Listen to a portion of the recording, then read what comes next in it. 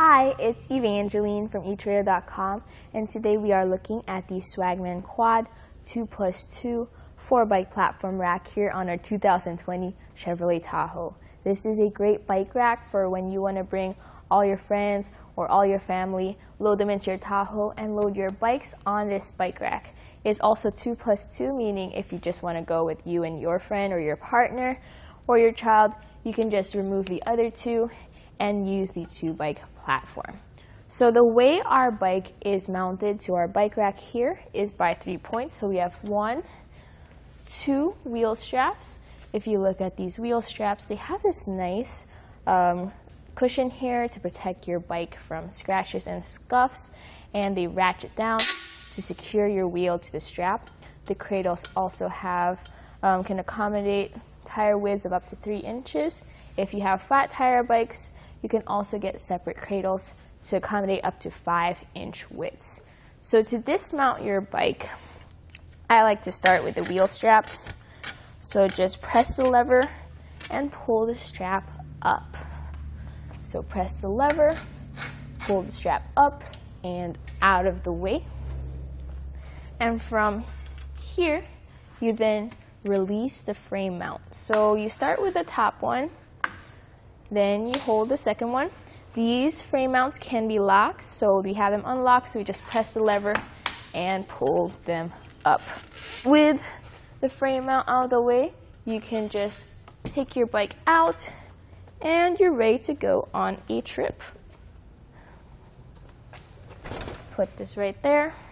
So with the bike dismounted, I like to just put the straps back in just so they're not flying around when I'm driving around. It's nice, it's orderly, and you can see how easily they ratchet down into place. So to bring down our mast, what you need to do is pull this lever that says pull,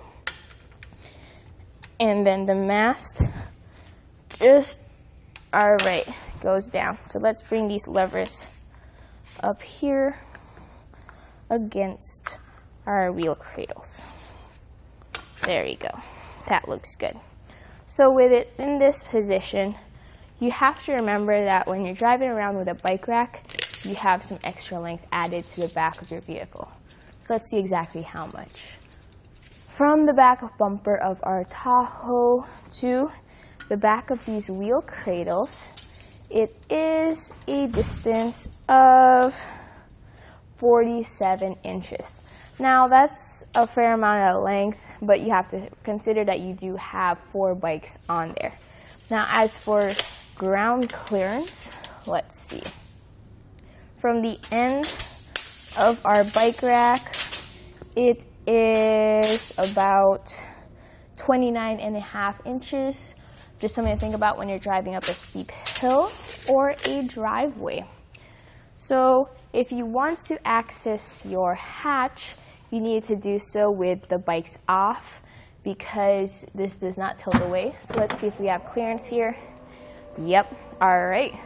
So from here, you can just get your groceries, uh, put them in there, access the rear. So you do have clearance and it doesn't even come close to this point. This bike rack also folds up and to do so you need to remove this clip right over here and then take out that pin. With that removed, you can then lift the bike rack up and there you go. It stops itself right there. So now you just need to put that pin back in if it's a tight fit, you might need to just move the mast around a bit just to make sure there's enough space for that pin to go back in. Right? It's a little tricky, but honestly, I kind of like that because then I know that once a pin is in, my bike rack is secure. All right, there we go. Let's get that clip into place. Perfect. With it folded up like that, let's see how much length it adds to the back of our vehicle now. From our back bumper to the back of this bike rack, it's 15 inches. So that's a huge difference compared to when it was folded down.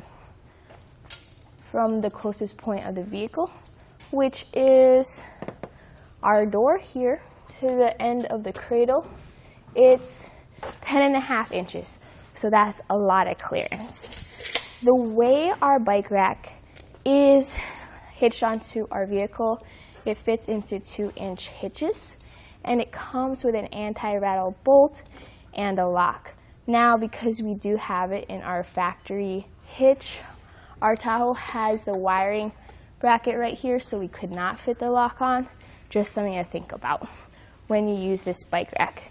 It does have a thread though, so that will really help with security because it'll take a while to undo that bolt anyways. All right, so with all those features discussed, my thoughts about this bike rack is that it's I like how it has that 2 plus 2 design because then if I want to bring my whole family out on a bike rack, I can take them with one, two, three, four bike platform rack. But if I just want to go with my friend, I can take out this top part really easy, really quickly, and we're good to go. It's nice, it's sturdy, I think it works great. So that was a look at the Swagman Quad 2 plus 2 bike rack here on our 2020 Chevrolet Tahoe. Once we get to the full speed bumps, we'll see the up and down action. This will be just like driving in and out of a parking lot, parking garage, or driveway.